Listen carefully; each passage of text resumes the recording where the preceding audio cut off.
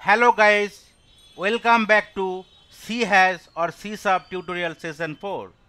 In this session, you can learn what is variable in C Hash and what is constant variable. A variable is a container for storing data type.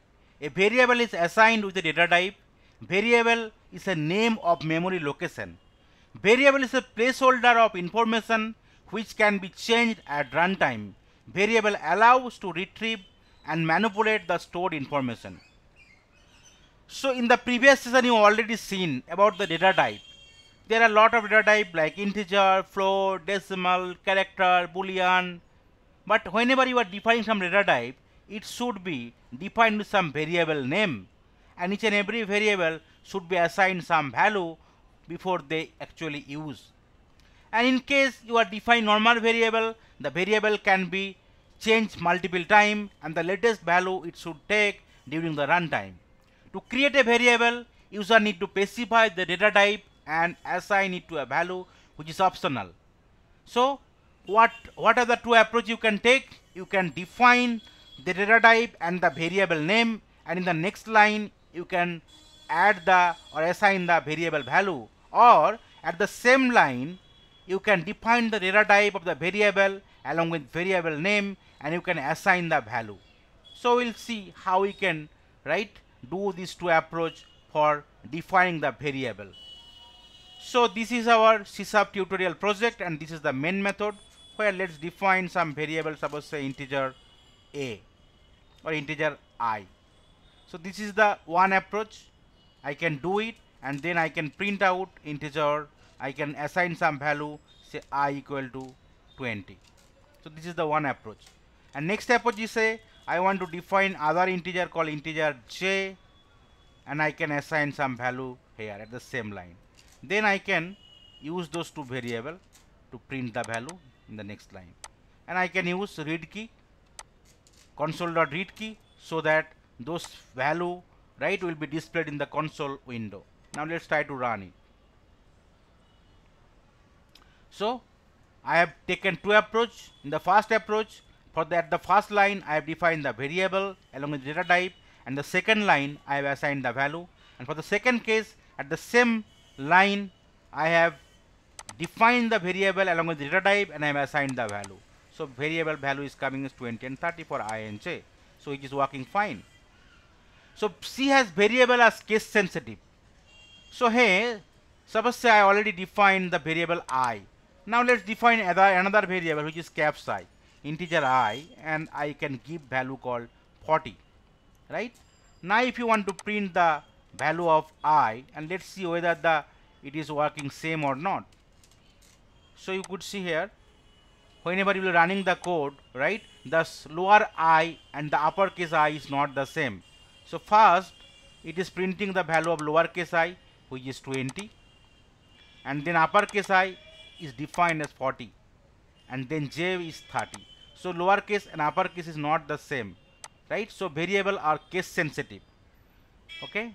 So you cannot define the lowercase or uppercase for two variable you can define it but this will not act as the same variable this will be two different variable variable names can contains the letter molar case a to z or uppercase a to z or digit 0 to 9 as well as the character is underscore but you cannot use other special character in the variable name suppose say i want to define some variable called integer right um, my underscore var. So that is possible. But also you can append 1, 2 like that. But in case you want to give any special character, it is not allowed. It will throw the error. Right? So you can define that way. Now you can assign the value also suppose say 100. That is also possible. And you can print it out the value of the myvar 12. So whenever you are accessing the variable, you don't need to give any double quote because it's a variable. This is not the string. You could see here the value is coming as 100 for the my var my underscore var 12 variable. The variable the name of the variable should not be started with a digit. It is not recommended to start the variable with the digit. You can start with lowercase uppercase letter or underscore as well, but it should not be right recommended to start with the digit variable name should not match with C Hash keyword or reserve word like integer, char, boolean, double, float, try, catch, for, while, do while, do, if, else like that. So the reserve keyword in, in C Hash. So you should not define some variable name with the reserve keyword. Say I want to define some variable, right, integer for. Is it possible? No, it will throw the error. But in case you are giving for one which is not reserved keyword, you can do it and you can use it. Like for underscore one also you can use it. But the reserve keyword, exact reserve keyword, you should not use it for declaring the variable. variable name must be unique in the scope of declaration and cannot be duplicate. In case you are defining some variable, say here I have defined the variable capital I or integer j. In case again you want to define some variable with the same name and in case you are giving different value like 200. Is it possible? No, it is not possible. So variable name should be always unique in your program, right? In case you are giving it j1, it is fine, right? Or j underscore 1, it is still fine. But exam name you cannot give. Data type can be same because same data type multiple variables can be there, but right?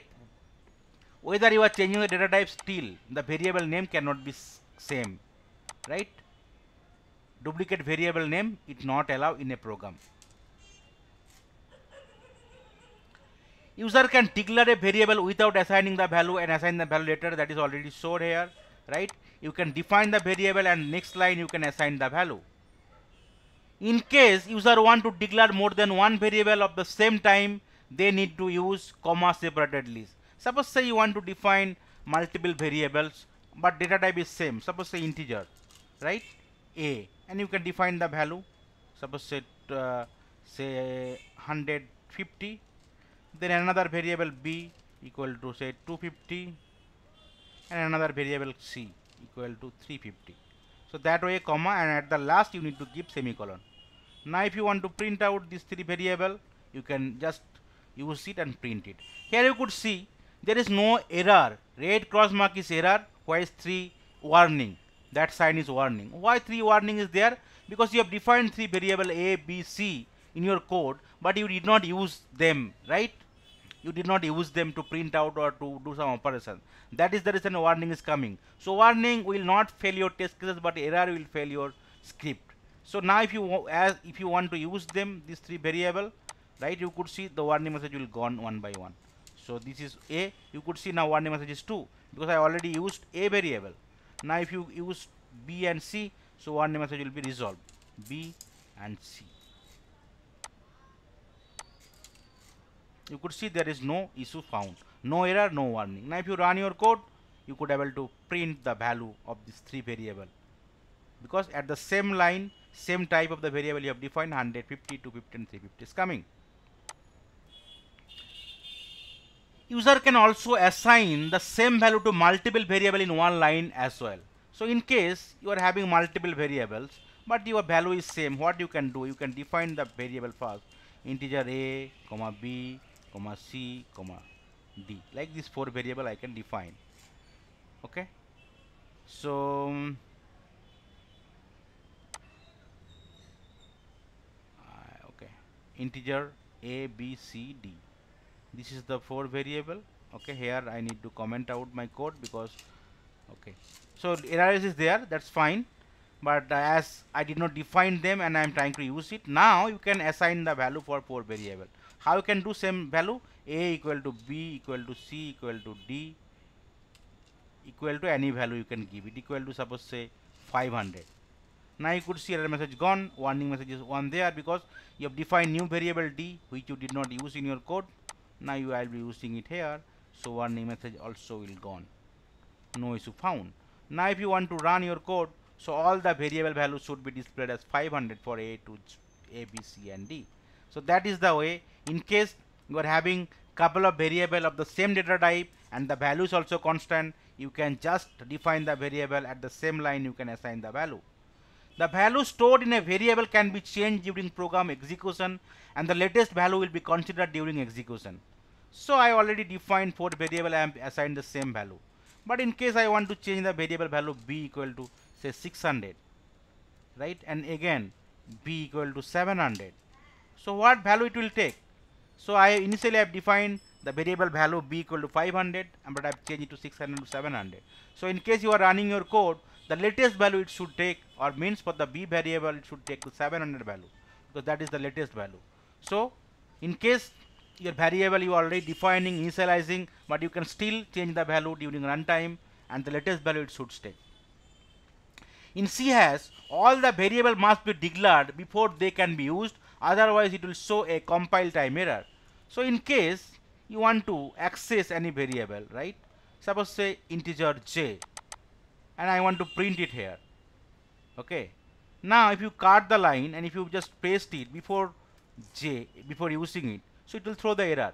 So here I did not define anywhere j, and I, here I am want to use the variable j but whether the CS will not able to understand what is J all about because whenever you are using any variable that should be defined before using. So here if you run your code it will throw the error right it will not able to understand what is J all about right.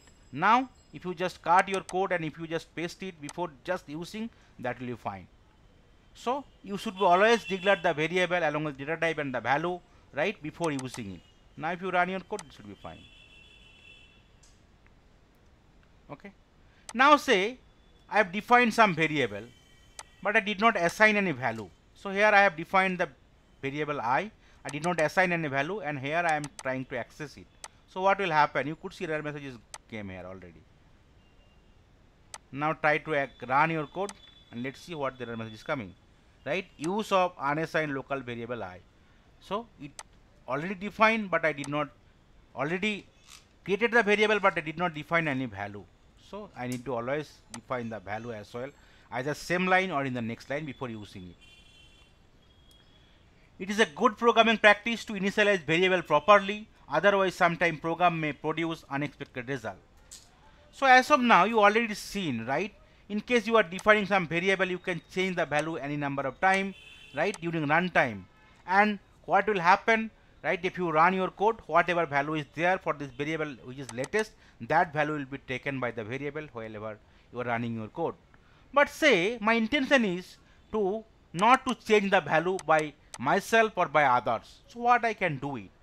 So there is one approach. You need to define the variable as a constant so that nobody can change the value of the variable including you. In case you are changing it it will throw the compilation error. So in case user don't want others or self to override existing value, they can add the constant keyword in front of the variable type. The keyword name is const. This will declare the variable as constant which means unchangeable and read-only. Constants are immutable values which are known at compile time and do not change for the life of the program. So how can you define in case you don't want to change it? So you can define first the data type suppose say double I want to define double D or maybe D1 D is already there I can define D1 equal to say I can just want to give some value like that okay but you can still change it right? You can change it. Again you can change it. D1 equal to suppose say like that. It will not be throwing an error and you can use the D1 as and when required.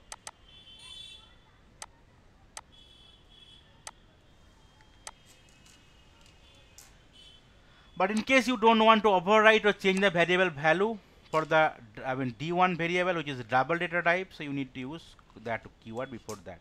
Now you could see error message is coming in the line number 18, right? So now let's try to run it. If you just want to run it, it will throw the error. The left hand side as assign must be variable property of the indexer, right? So you cannot change the value in case you are defining anything as a constant now let's run it so it will be giving you the correct result so in the real time whatever value will not be going to change throughout your life or throughout your execution you should define that as a constant so that including you nobody can change the value of the variable. The constant keyword is useful when user want a variable to always store the same value so that others won't mess up the code. An example that is often referred to as constant is pi 3.14 so you are having rectangle you are having right uh, square you are having circle right? In case you want to get the area right? Sometime you need to use the pi but which is value is always constant. So that for any kind of area calculation part in the tr trigonometry right? Uh, so you can use it. So value will be 3.14 always constant in nature. So constant can be declared at the class level and inside the method. Multiple constants of same type can be declared at the same time. Suppose say we, we already know that months weeks days are constant right? For which the value is al almost fixed so i can use at the same live as well. Suppose say let's use right constant months equal to 12 then you can give comma. Then weeks equal to 52 and days equal to 365 then you need to keep semi. Right? Constant integer. I need to define the data type here because those are integer only. Now you could see error message gone. Warning message is there because you did not use them anywhere. So I can just use it. So so in the real time the value will be always fixed only. So that is the reason you can declare something called constant. And then you can use it as and when required now if you use try to use it anywhere so that error warning message also gone. Now you could see no issue. Now if you run your code you could able to see the value of the days months and week in your console. So months is 12 week is 52 and days is 365 so that way you can deal with the variable in C Hash along with constant variable in C hash. That's all from today's session. Thank you